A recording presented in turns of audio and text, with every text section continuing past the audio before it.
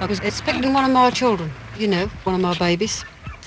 And uh, my husband sent for the midwife. And in the time that there's going after the midwife, the policeman come along. Come on, he says, get a move on. Shift on, he says. Don't want you on here, on my beat. So my husband says, look, he says, sir, he said, let me stay. He said, my wife is going to have a baby. No, I don't matter about that. He says, you get off. They made my husband move, and my baby was born going along, and my husband stayed in the road. My baby was born on the crossroads in my caravan. The horse was in harness, and we was travelling along the road, and the policeman was following us behind, drumming us off, and the child was born, born on the crossroads. Born in the middle of the afternoon in a horse-drawn wagon on the old A5. The big 12-wheeler shook me bed.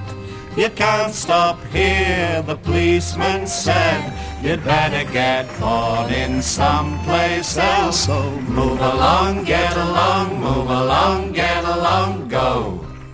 Move, shift. Get that up, Mrs. and get the bleezers out of here. Born in the tatty left and time in an old bow tent near a tatty field. The farmer said, the work's all done, it's time that you was moving on. You'd better get born in someplace else, so move along, get along, move along, get along, go. Move, shift. You stay in a place, and they move on, and you don't move on, they'll, they'll summons you. They say, why don't you go back to your own county? Well, what county we got? Born on a common near a building site where the ground is rotted by the trailer's wheels. The local people said to me, You'll lower the price of property. You'd better get born in someplace else. So move along, get along, move along, get along, go.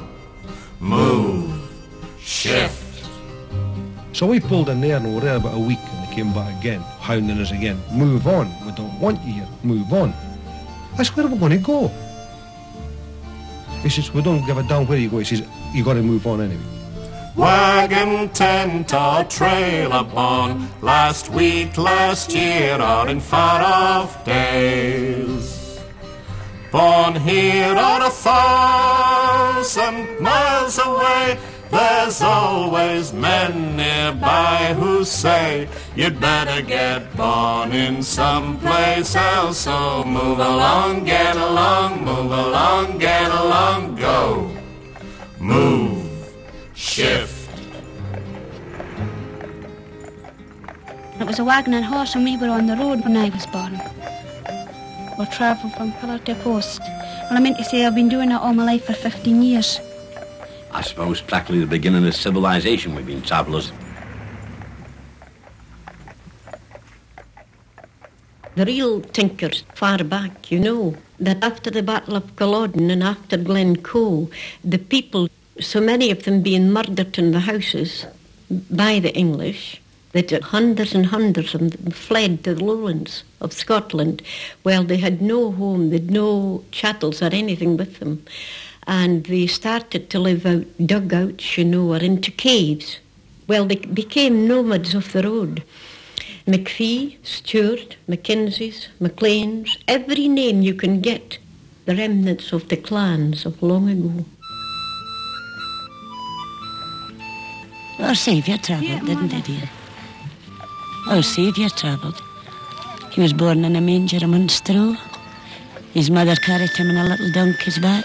If it goes by the way of the world to the Bible, we must keep up that generation to the last of the world. It was the first of it, be the last of it. Born at the back of a blackthorn hedge when the white hoar frost lay all around. No eastern kings came bearing gifts instead. The order came to shift You'd better get born in some place else. So move along, get along, move along, get along, go. Move, shift. Our Lord travelled one time. The winter sky was hung with stars, and one shone brighter than the rest. The wise men came, so stern and strict, and brought the order to evict. You'd better get born in some place else, so move along, get along, move along, get along, go. Move, shift.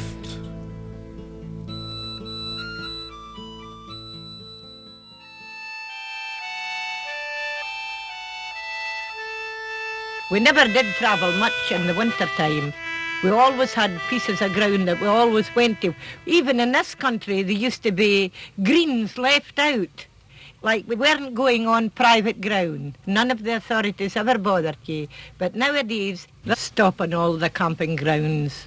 Once you could pull in with your caravan to a sheltered spinney or to open ground.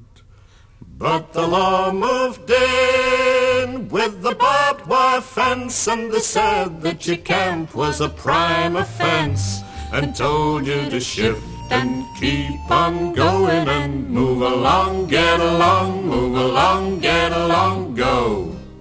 Move, shift. My great grandfather. He looked at me one morning, we was sitting down, minding the horses we was. He said, my son, he said, years ago, when I was a boy, he said, see that place there, that park? I said, yes, grandfather. We used to stop on that, he said, 12 months, two years at the time. Till a lord came along, he said he put a bit of fence up. And that's how they got the ground, he said, by pinching it, bit by bit.